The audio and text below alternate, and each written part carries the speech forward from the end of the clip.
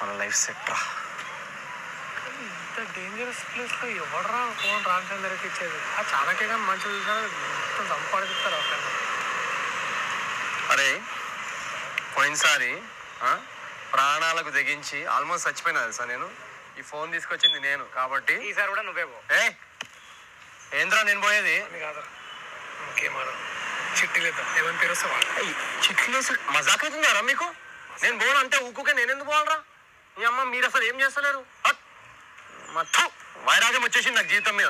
మీ ఇద్దరిలో డిసైడ్ చేసుకొని వెళ్ళిపోతారు సరే నేను కూడా పోను. నా దిట్టగా లవ్ ఫెయిలియర్ అయింది. అసలు సువర్ణకి నా మొగమే చూపెట్టలేకపోతున్నా నేను. నేను కూడా పోను.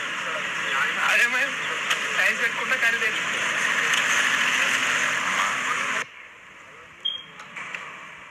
మునుదాం ముగ్గురం మునుదాం కలిసిపోదాం లోపలికి ముగ్గురు. లేదంటే ఇంటికి పోదాం. డిసైడ్ చేసుకొని చెప్పండి నాకు.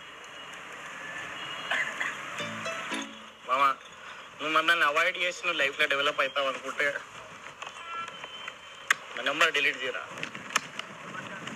వెళ్ళిపోతానండి లైఫ్లోకి కానీ కన్నా మాటలంతా వారా మా ఏముంది రే మీ గురించి పాజిటివ్గా చెప్తే ముందు మీ అయ్యాలకి నా మీద డౌట్ అని చెప్పుకోనికి మా ఐల్స్ కొడుతున్నారు ఫ్రెండ్స్ అని చెప్పుకోనికి నువ్వు కూడా.